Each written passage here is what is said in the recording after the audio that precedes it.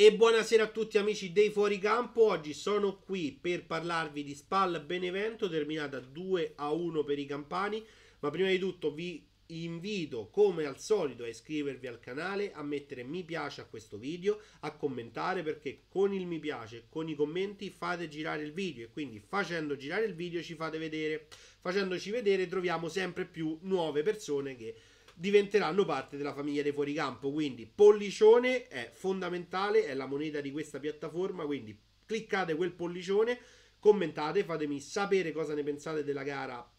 appunto Spal Benevento, in generale dell'avventura di De Rossi in, in campo con la squadra di Ferrara e, e soprattutto in generale della, della mia idea della partita. Quindi apriamo questo confronto dialettico nei commenti mantenendo ovviamente un'educazione media importante. Quindi ragazzi non esagerate nei commenti perché poi i commenti stanno là è un problema. Quindi commenti nei limiti di un'educazione civile e pollicione importantissimo. Poi iscrivetevi abbonatevi come e, più, e pur vi piace. Quindi andate, cliccate quei tasti e andiamo insieme ad analizzare Spal Benevento. Allora, una partita brutta, una partita giocata malissimo dagli uomini De Rossi, una partita eh, che probabilmente era stata preparata in un modo e mh, mm, non so se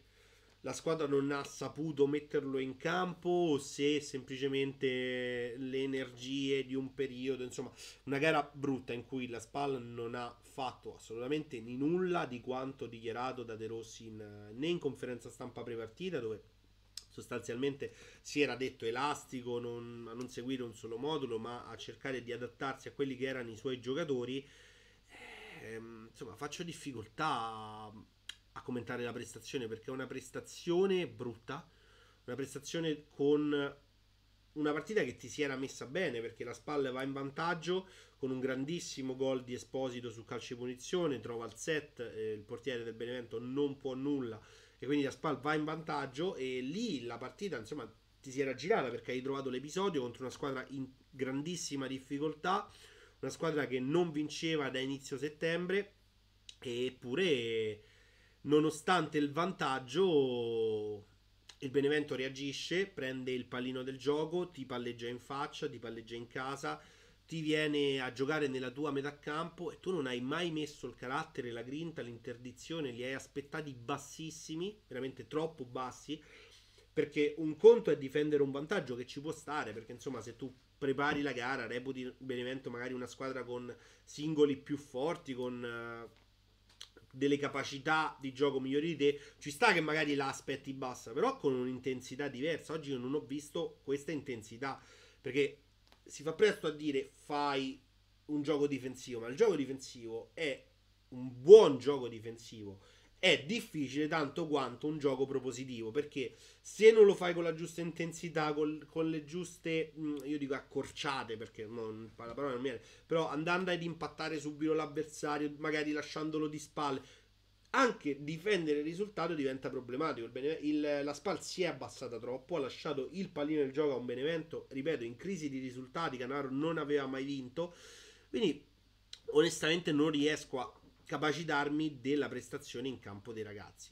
Poi la partita ovviamente ti svolta per quel rosso un po' dubbio, vero anche che era stato annullato nel primo tempo un gol a Benevento su un fallo mh, mm, che c'è perché il giocatore eh, Campano spinge nettamente eh, il giocatore ferrarese in, uh, in barriera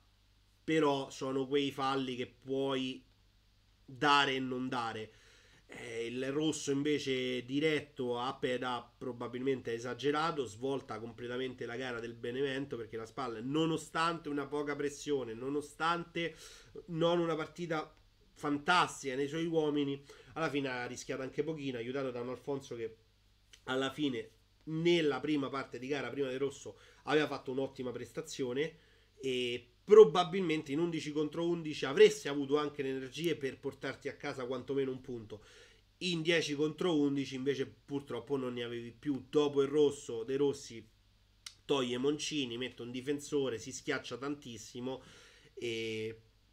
purtroppo sei anche sfortunato perché poi il gol lo, lo prendi lo prendi di sfiga eh, perché Tripaldelli che non, non aveva fatto male eh, fin, fino a quel momento purtroppo è sfortunato quindi niente lì prendi gol la partita si mette sull'1-1 il Benevento ha il merito di crederci in 10 contro 11 e trova il gol su, sull'unico errore insomma da quando io sto vedendo quindi da quando è iniziata la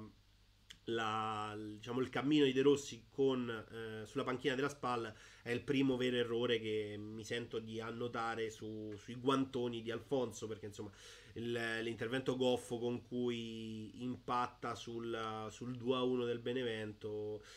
insomma, poteva fare probabilmente di più sul tiro di Lagumina. Eh, sono tre punti che pesano sono tre punti che avrebbero avvicinato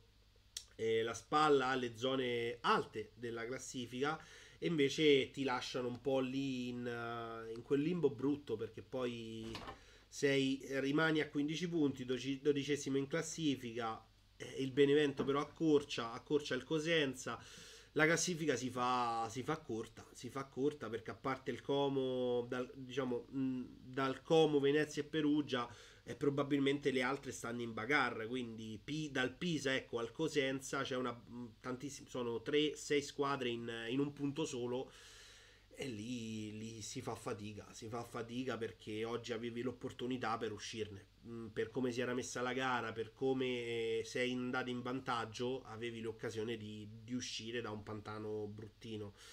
e ora io non riesco a trovare le parole di De Rossi post partita quindi insomma, mi immagino non sia soddisfatto del, della, oltre che di quel rosso che insomma parliamo, ne è un rosso che secondo me non c'è. Mm, l'intervento sì è ruvido, però non, non, credo sia da rosso, da rosso diretto. E la situazione, ecco, secondo me fa un po' da pari con il gol annullato al Benevento il primo tempo, che c'è come eh, regolamento, perché la spinta c'è, però non sempre te lo danno, quindi diciamo che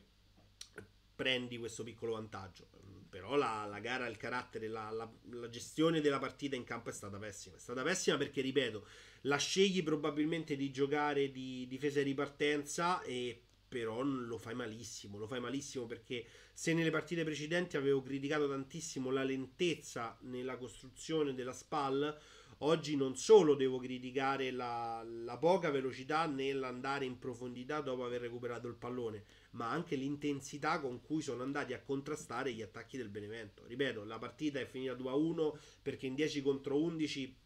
hai provato a gestire l'1-0 e ti sei abbassato ancora di più, alla fine ne hai presi due non so se in 11 contro 11 comunque avresti avuto l'energia per portarti a casa i tre punti perché oggi veramente la, la, spalla in campo non c'è stata. Non c'è stata né in fase difensiva né in fase offensiva. Quindi secondo me vittoria ben, meritata del Benevento che esce da un insomma esce insomma eh, si avvia verso provare a risalire la classifica perché ha delle qualità